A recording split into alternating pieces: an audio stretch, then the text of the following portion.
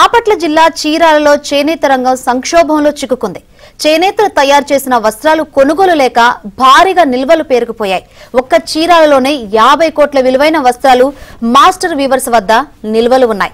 చేనేత వస్త్రాలు కొనుగోలు లేక మగ్గాలు కూడా మోగబోయాయి. చీరాలలో చేనేత రంగం తాజా పరిస్థితిపై మా ప్రతినిధి వెంకట్రావు మరింత సమాచారం అందిస్తారు. బాపట్ల జిల్లా చీరాలంటే గుర్తుకొచ్చేదే చేనేత కార్మికులు. దాదాపు చీరాల నియోజకవర్గంలో డెబ్బై వేల మంది చేనేత కార్మికులు పనిచేస్తూ ఉంటారు. చే చీరాల నుంచి ఏదైతే పక్క రాష్ట్రాలు నుంచి కూడా వ్యాపారస్తులు వచ్చి ఇక్కడ నుంచి వస్త్రాలు అయితే కొనుగోలు చేస్తున్న పరిస్థితి అయితే ఉండిద్ది. చీరాలంటేనే చిన్న ముంబైగా ఒక పేరు కూడా చీరాలుగాంచింది చీరాలు అయితే గత ఐదేళ్ళ కాలంలో వైసీపీ ప్రభుత్వంలో చేనేత రంగం పూర్తిగా ఆర్థిక సంక్షోభంలో కూరుకుపోయింది. చేనేత కార్మికుల ఏదైతే తయారు చేసిన వస్త్రాలు ఉన్నాయో. అవన్నీ కూడా మాస్టర్ వ్యవస్థ దగ్గర పెద్ద ఎత్తున పెరిగిపోయిన పరిస్థితి. ఒక్క చీరాల నియోజకవర్గంలోనే యాభై కోట్లకు పైగా వస్త్రాలు మొత్తం కూడా ఎక్కడికక్కడ స్టాక్ నిలిచిపోయిన పరిస్థితి. ప్రస్తుతం చేనేత రంగంలో వాళ్ళు ఎదుర్కొన్న సమస్యలు ఏంటో వాళ్ళని అడిగి తెలుసుకుందాం. సార్ మీరు చెప్పండి. గత ఐదేళ్ళ నుంచి కూడా తీవ్ర ఇబ్బంది పడ్డామని చెప్పని చెప్తున్నారు. ఏంది అసలు ప్రాబ్లం? ఇక్కడ అరవై వేల నుంచి డెబ్బై వేల మంది వరకు ఈ పరిశ్రమ నుంచి ఆధారపడి ఉంటారు.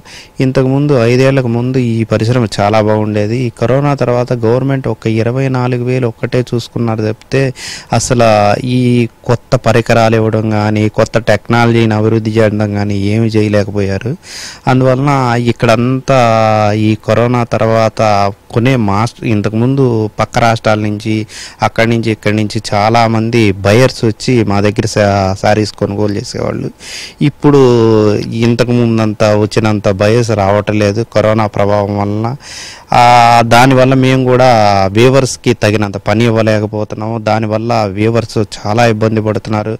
ఎట్లయినా దయచేసి గవర్నమెంట్ వాళ్ళు ఒకసారి కొనుగోలు ఒక్కసారి కానీ మా మాస్టర్ వీవర్స్ దగ్గర ఉన్న సరుకు అంతా కొనుగోలు కానీ కొని చేస్తే మాకు చాలా ఉపయోగకరంగా ఉంటుంది. ఇది ఇదే మేము కూడా వీవర్స్కి తగినంత పని కూడా కల్పించగలుగుతాము. ఈ ఒక్కసారి ఇది చేయడం వల్ల ఒక ఒక సంవత్సరం పాటు మేము ఇబ్బంది లేకుండా జరుగుతాయి అని చెప్పి అనుకుంటున్నాను ఇప్పుడు చేనేత రంగం మళ్ళీ నిలదొక్కాలంటే ఏం అడుగుతున్నారు? ఏం లేదండి. ప్రస్తుతం మాత్రం జ- జనం లైఫ్ స్టైల్ కూడా మారిపోయింది కరోనా తర్వాత. ఏంటంటే ఈ శారీ ఎక్కువ కాస్ట్ తీ- కొనటం కానీ ఇట్లాంటివి కూడా చేయటం లేదు.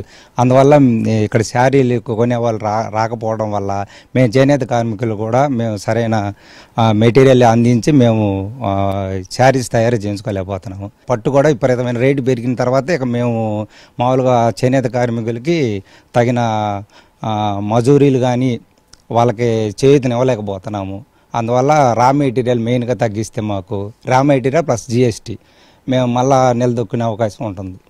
ఏదైనా చీరలు వస్త్రాలు అంటే అది నిత్యావసర వస్తువు కాదు. కొద్దిగా ఒక పండగకో లేంటో ఇంట్లో కార్యక్రమానికో కొనుక్కునేది. అలాంటి వ్యవస్థ బాగుండాలి అంటే వాళ్ళ దగ్గర డబ్బులు ఉండాలిగా. వ్యవస్థలన్నీ చంద్రబాబు నాయుడు గారి గతంలో రెండు వేల పంతొమ్మిదిలో చేసినప్పుడు మా వ్యవస్థ చాలా బాగుండేది. మా మాకు చీరలు బాగా అమ్ముడుపోయేది. ఈ చుట్టుపక్కల అమరావతి అని వచ్చింది. అక్కడ రియల్ ఎస్టేట్ చాలా బాగుండేది. ఆ చౌదరీస్ వాళ్ళు వీళ్ళు కమ్మ వాళ్ళు చాలా మంది సంబడి అందరూ కూడా విజయవాడ గుంటూరు నుంచి వచ్చి మా దగ్గర విపరీతంగా చీరలు కొనేవాళ్ళు. అప్పుడు మా చేనేత కార్మికులకి పని ఉండేది మాస్టర్ వ్యూవర్స్ పరిస్థితి బాగుండేది కానీ ఇప్పుడు అస్సలు పరిస్థితి బాగాలేదు తక్షణమే ఒక కమిటీ వేస్తారో ప్రభుత్వం వాళ్ళు లేదా దీని మీద ఏ చర్య తీసుకుంటారో చర్య తీసుకొని తక్షణమే ఆర్థికపరమైన రెండు ఈ సరుకులన్నీ కొని వీవర్స్కి మాస్టర్ వీవర్స్కి చేదోడుగా ఉండి సాయం చేయాలని మనస్ఫూర్తిగా కోరుకుంటున్నాను.